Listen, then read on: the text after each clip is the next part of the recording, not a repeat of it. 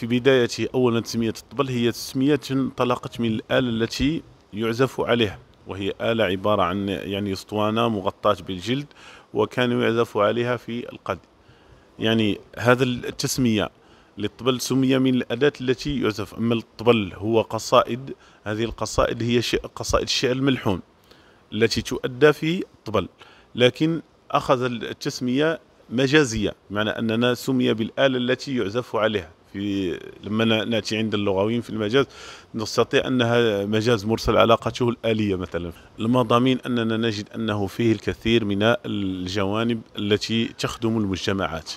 فيه المديح فيه ما يدعو إلى التآخي فيه يعني ما يدعو إلى نبذ التفرقه بين المجتمعات فيه الكثير من القيم الاجتماعية التي تحافظ على وحدة المجتمع إضافة إلى القصائد الغزالية وغيرها من القصائد التي عاملت على النهوض بهذا اللون من أو بهذا اللون الثقافي في الذي يسمى بالطبل عنده ووجه من وجوه الثقافة التي يجب الحفاظ عليها والنهوض بها وإظهارها للعالم ولما لا.